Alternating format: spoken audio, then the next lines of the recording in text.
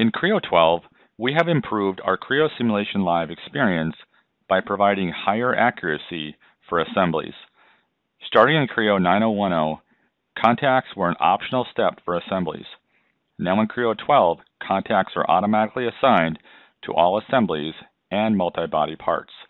Here in this assembly, we have multiple parts with many gaps and interferences that would typically give an FEA program some challenges.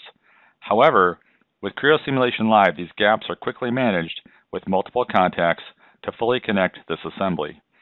We can apply the rest of our boundary conditions and then solve. In addition to the automatic contacts, you can manually create contacts or detect contacts with a tolerance value.